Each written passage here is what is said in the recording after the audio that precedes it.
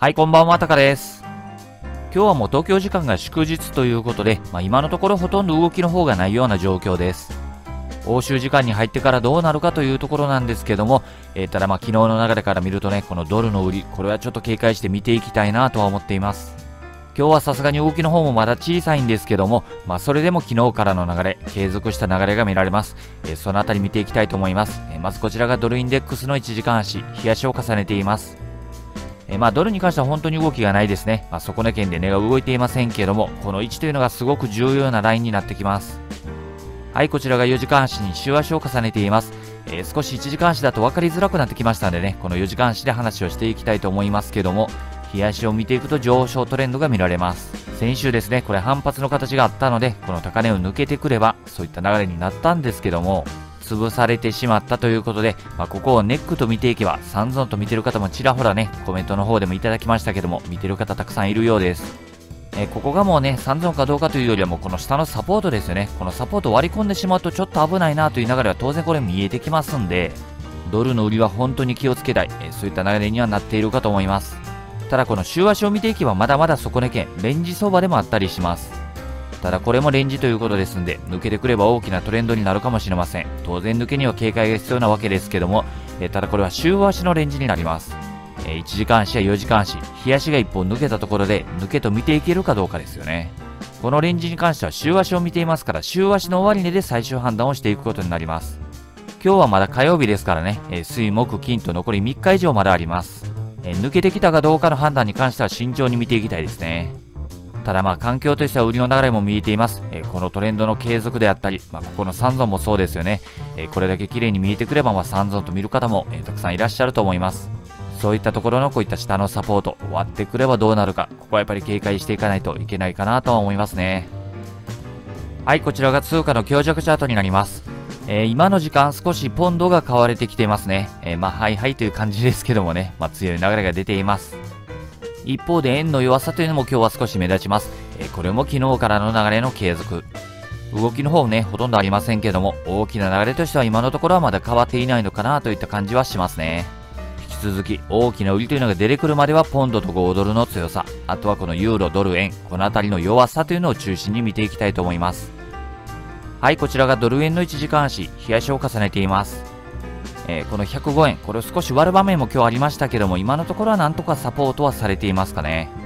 切り板ということもありますんでね、まあ、少し抜けるにしても反発するにしても、それなりに時間というのはかかってくるかもしれません。ただまあ、冷やしを見ていけばもう上昇トレンドがしっかり見えてきますよね。えーまだ押し安値も割っていませんから、ちゃんとサポートされれば押し目買い、こういった流れを見ている人は相当数いそうです。ただその割にはなかなか反発してこない、売りの強さというのも感じます。この売りはどこから来ているのか、これをしっかり見ていきたいですね。はい、えこちらが4時間足に週足を重ねています。えこの売りの存在というのを意識していく上で、やっぱり週足は外せないかなと思います。えー週足はこの辺りでレンジ相場を組んでるんですよね。今週で4週目になりますけども、実体部分を見ていけばこの105円を超えたあたり、このあたりで値動きが止まっています。つまりはレンジ相場、短期的には抜ける場面もあるんですけどもね、終値までには戻ってきてしまう、そういった動きが4週間近く続いています。ならばまレンジの上限では売り、下限では買いということになりますけども、今の位置はま真ん中あたりですからね、え少し分かりづらい位置にはなっているかと思います。えそして注意をしたいのが先週のこの動きですね。短期的には一度抜けています。当然押しが入れば押し目買い、まあ、冷やしを見ていけば上昇トレンド見えていますからね、えたくさんこういったところ押し目買いが入っているとは思います。この押し目買いというのは週足で見ていけばレンジから抜けたところでロングをしてしまっているという環境がありますんで、レンジの継続という結果になってくるんであれば、この辺りは相当な高値掴みということになるんですよね。押し目買いをしているつもりがすごく高いところを掴んでいる。そういった結果になりかねないポジションということになりますね。えこの苦しんでいるブル派の存在、これを意識していきたいと思います。今は週足レンジが見えていますから、レンジ上限あたりからのショート。上限は105.40あたりですかね。えーこのあたりからのショートというのは意識してチャートの方は見ていきたいと思っています。では、レンジ加減からロングを見ていけるのかどうかについて考えていきたいと思います。はい、えーこちらが月足を重ねています。えー月足なんてね、まあ、すごく大きな流れになりますから、あまり見ないかと思いますけども、月足というのは今週の金曜日に閉じるんですよね。つまりあと3日とちょっとでこの月足が確定してきます。え直近のこの月足の流れを見ていくと、この辺りにレンジ相場が見えてこないですかね。えー、今月の月足というのは上の方に抜けていますけども、すごく上髭の長い形になっています。あと3日と少しのうちに、このレンジの中にもし戻ってきてしまった場合、これは月足はね、先月の高値を更新という形にはなってきません。更新できないということは、このレンジ相場を継続して見ていくことになります。すると今ここでね、小さなレンジを見ていますから、例えばこの辺り、レンジの加減だからロングをしていく。え見方としては間違ってないですよね。ただこのロングポジション、週末までに下の方に抜けてしまった場合、これは安いところで買っているつもりが、月足を見ていくとレンジの上限でロングをしてしまっているということになります。まあ、いわゆる高値掴みですよね。週足のこういった小さなレンジだけを意識してしまうと、この例えば104円の80あたりですかね、えロングをしてしまいがちですけども、押しが深い場合は月足が高値更新、失敗してしまうという形にもなってきますので、え今週末の終値、これすごく大事になってきますよね。まあ、週足の終値、そして月足の終値ということになります。少なくともこの1週間、僕はこの辺りの押し目買い、これはちょっと警戒心を持って見ていきたいなと思っています。悩ましいのが、冷やしを見ていけば上昇トレンドが見えるんですよね。えー、ならば、押し目買いというのが見えてきますので、この押し目買いをどう判断していくのかがポイントにはなってきそうですね。個人的にはこの押し目買いを見ていくよりも、押し目買いをしている人たちの存在というのを意識したトレード。例えば少し今みたいにね、反発しているけども反発しきらず、再度安値を割るような形。ロングを見ている人たちが苦しむ展開ですよね。えー、そういった流れを意識してチャートの方は見ていきたいなと思います。はい、こちらが15分足に4時間足を重ねています。えー、短期的な流れを見ていくと少しやっぱり今押しが入っていますからね、えー、下落の流れというのが見えてきます。え少し反発の形見えていますけども、この戻りの高値、これがポイントになってくるんではないかなとというのもね、この辺りの短期的な動き、こういった下落のトレンドも見えているんですよね。えー、この戻りが、戻りの高値を抜けなかった、えー、高値を抜くことができなかったから、売りが入ったという形がありますんで、今の波の起点は105.70、この辺りからの売りというのが出ています。戻りが入っていますけども、この売りというのを基準に考えていくんであれば、戻り売りは見ていけると思うんですよね。候補となるのはサポートされていた場所、105.30であったりとか、最後の最後は105.7あたりまでね、えー、見ていくことになりますけども、ここまで大きな戻りが入ってくるということは、えー、残り3日間と少し、これで週足や月足というのは閉じることになります。えー、少なくともね、月足のレンジ加減、これを割り込んでくるためには104.8。この下にあるサポートですよね。えここを割り込んでこないといけないということになりますから、かなり距離も出てきます。え割るための時間というのも少なくなってしまいますんでね、大きな戻りが入ってくると、月足のレンジの中に戻ってくる。こういった動きというのはね、少し難しくなってくるかもしれませんね。ただそれでも継続してこの4週間ほど続く週足のレンジ相場、これは意識はしていきたいとは思っています。週足を見ていけば、まあ、加減からのロングというのもいいと思いますけども、え、少なくとも今週いっぱいまではね、このドル円に関してはロングは慎重に、大きな売りが入ってくるかもしれない、え、こういった意識を持ってチャートの方を追っていきたいと思います。はい、こちらがユーロドル、1時間足に冷やしを重ねています。えー、今日もユーロに特段の動きがあるわけでもないんですけどもね、まあ、ドルが弱いということで、冷やしを見ていくと高値更新、今日も続いています。冷やしを見ていくと下落の流れが見られますけども、この戻りの高値に今迫っていますからね、これを抜けてくるかどうかというのがポイントにはなってきそうです。ただこの壁、そんなに低い壁ではないと思うんですよね。えー、例えばこの辺りの値動きを見ても、結果が出るまでには1週間ほど。ここもそうですよね。壁の手前で足場を作っていますけども、結果が出るまでは1週間ほど。えー、今回も、まあ、冷やし一本で抜けてくるかもしれませんけどもね、まあ、考え方としては足場を作る展開、これは頭には入れておきたいですね。ならば、まあ、見ていきたいのはこの上下の壁ということになりますね。上の壁はこの辺り見ていけばまずはいいと思いますけども、問題はこの下のサポート。これがまだはっきりしていません。なので、値動きが止まってしまった場合はね、この下のサポート探しから始まりますね。そもそも今の環境がドルが弱い、ユーロが弱い、どちらも弱い通貨同士ということになりますから、値動きの方もね、そんなに大きな値動きにはなる環境にはないと思うんですよね。え、レンジ相場になっても何も不思議はないと思いますんで、まあ、そういった意味ではね、この目の前にある大きな壁、この壁に対してレンジを作る動き、足場を作る動きというのをイメージはしていきたいと思います。はい、こちらが15分足に4時間足を重ねています。朝の早い時間にね、一瞬高値をつけたんですけども、そこから値動きが止まっています。まあ、調整局面には入っているということになりますね。えー、目の前に大きな壁があるのは上位足で見た通りです。えー、ならばまあロングを見ていくにしてもね、高値をつかむのは避けたいですよね。えサポートからのロングを見ていきたい。えただそのサポートが見当たりません。えこの辺り見ていくのも強引に見ていけば、え見ていけなくもないと思いますけども、僕ならばやっぱりこっちになっちゃいますかね。ならば少し押すような展開というのもあるかもしれません。えこの辺りはね、上位足を見た時にレンジ相場になるかもしれない。えそういった意識でチャートの方は見ていますので、えまずはこの下のサポート、今のところまだどこになるか分かりませんけどもね、えこのサポートをしっかり探していきたいなと思っています。中途半端な押し目買いであったり、えロングを見ていくのはちょっと危険かなと思いますね。えもしドル売りの上昇というのを見ていくんであればね、え強いポンド、強い5ドル、そのあたりを見ていけばいいのではないかなと思います。はい、こちらがユーロ円、1時間足に冷やしを重ねています。えー、この辺りの調整局面というのがよりはっきり見えてきましたかね、えー、先週の水曜日のこの大きな陰線、この売りがポイントかと思います。これ以降の動きに関してはもうハラミの動きになってしまっていますので、この上下の壁、これ抜けてこないと方向感見えてこないですよね。冷やしの流れを見ていくと、この辺り、127円の2030あたり、この辺りは冷やしの壁になっていた場所でもあります。今は抜けていますから、今度はこれがサポートになるかもしれない。今大きなレンジになっていますけども、このレンジを支えているのかもしれませんね。え下の方に抜けてしまえば波の反転、え見ることができると思いますんで、例えばユーロの弱さ、これを見ていくんであればこういったサポートを割れる形、こういったのはしっかり待ちたいですね。少なくとも今の環境というのはこの大きな陰線の中でのハラミの動き、えこの中ではどのような値動きをしてもおかしくないということになりますんで、特に今は真ん中あたりにいますからね、まあ、トレードをしていくんであれば上下の壁に引き付けてということになってくるかと思います。それまではもう様子見でもいいんではないかなと思いますね。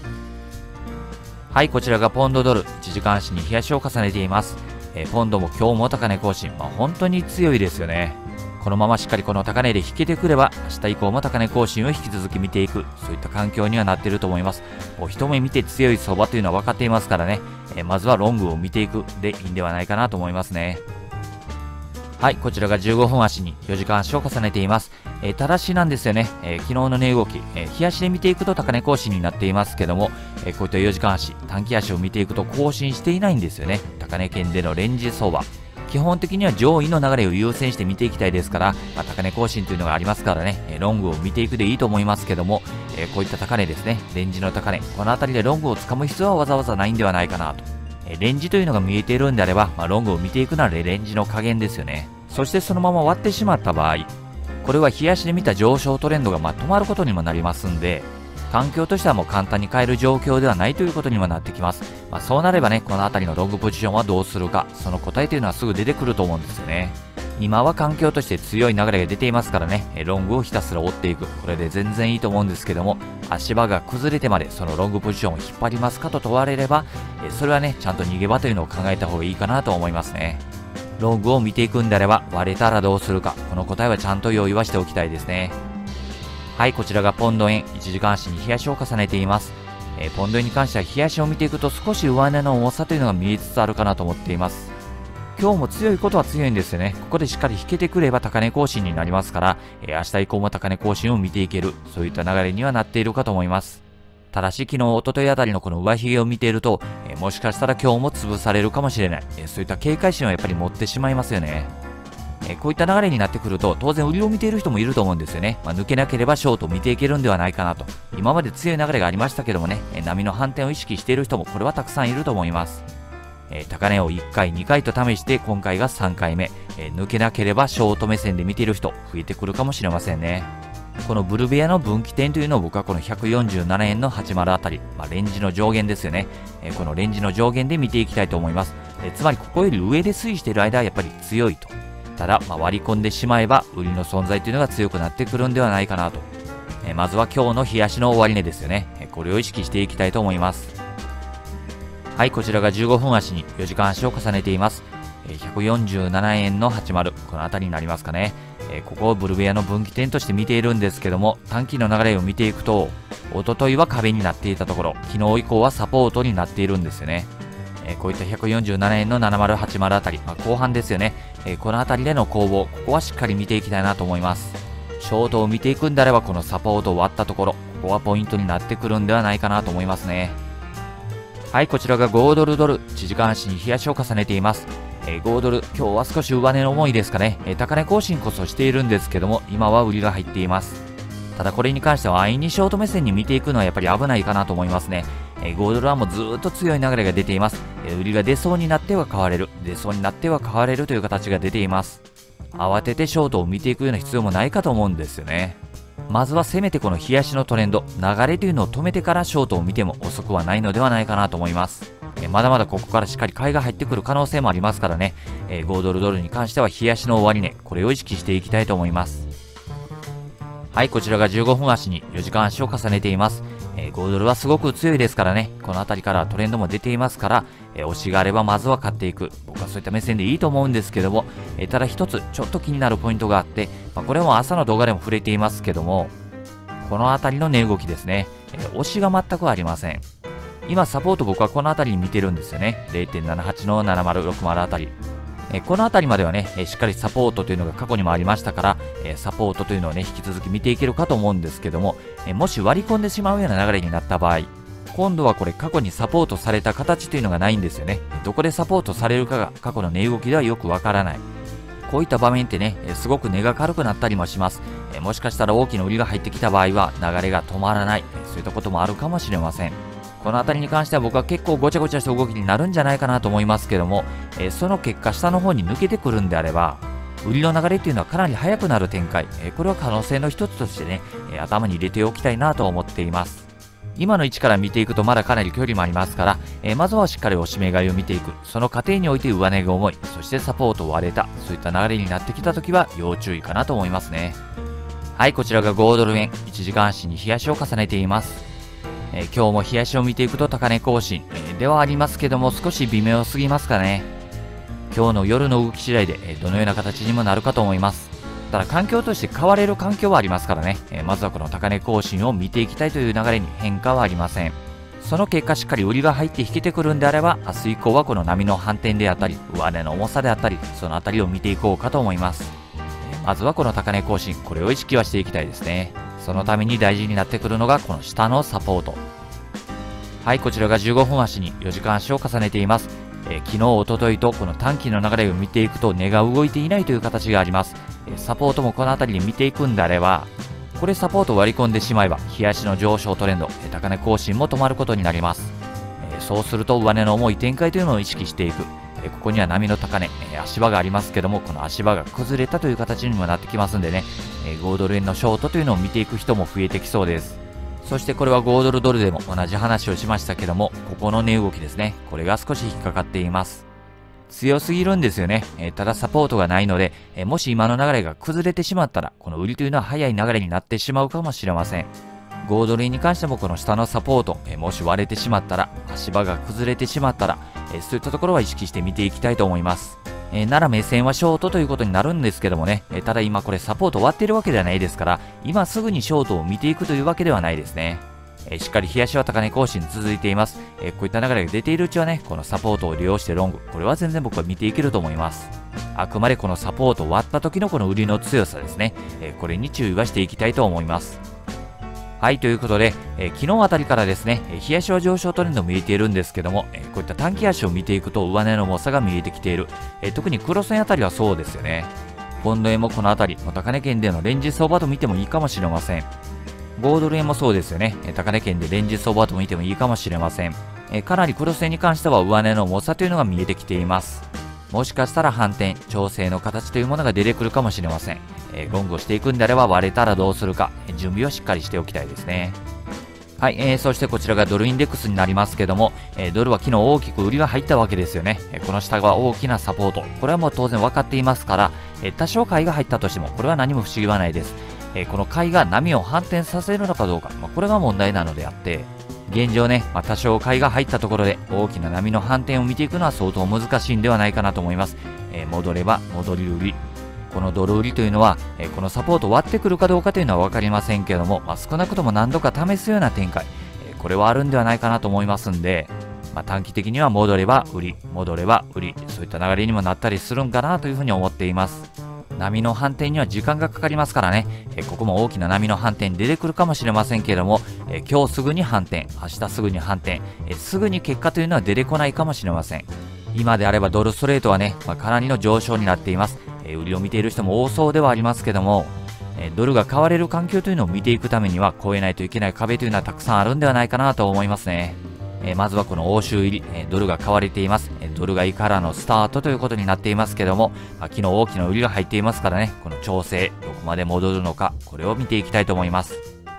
今回は以上になります。大まかな環境認識などは朝の動画でも触れています。え概要欄の方にリンクの方は貼っておきますので参考にしてください。